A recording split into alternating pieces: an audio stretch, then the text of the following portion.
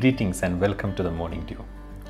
Before you receive this word, let me just pray over you. Anything that is standing in the way of you receiving this word, I break that in the name of Jesus, that nothing will be a hindrance for this word to become an instruction into your spirit. We all know the story of a lame man who was in that situation for 38 years lying near the pool of Bethesda.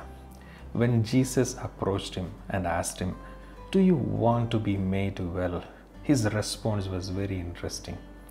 Instead of a yes, he said, I don't have anyone to take me to the pool when the angel comes and stirs up the pool. Instead of a simple yes, he started blaming the circumstances for his situation. The one who can heal him, the one who can deliver him from that situation was right before him, but instead of seeking help, he started blaming the situations and other people for his current situation. This attitude is called victim mindset. People who have this mindset, they will have a story to tell to everyone and in every situation.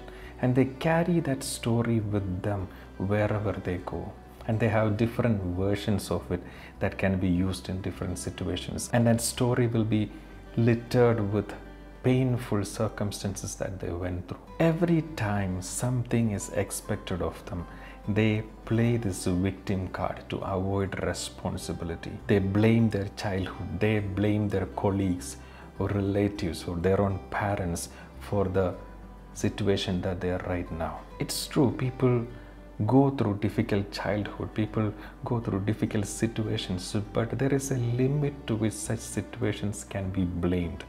There is a limit to which we blame our past for our current situations there are things that happens to us but at the same time we have a personal responsibility in making things right. People who carry that victim mentality they have little interest in improving their situation because it becomes a hiding place for them that they can run away from every responsibility that they are supposed to take up. Even if help is offered to them they will not accept it because they are comfortable in feeling sorry for themselves. A lot of time they really want the healing.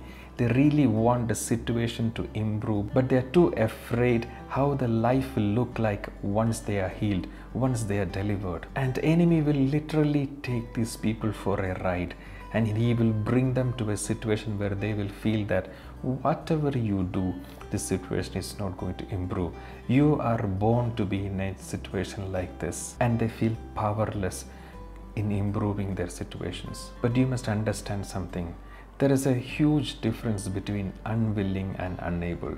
If there is a will to overcome the victim mentality, the victim mindset, God will help you to come out of it.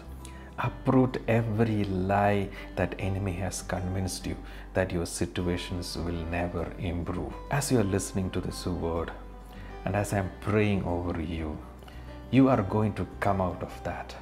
If you are struggling with this situation, with this mindset, as this word touches your spirit, you are coming out of it in the name of Jesus the self esteem that you lack, the self confidence that you lack will be restored right now in the name of Jesus. As the power of God is coming to you through this video, rise up from wherever you are and declare that I am no longer a victim, but I am victorious. I am called, I am born to be victorious in the name of Jesus.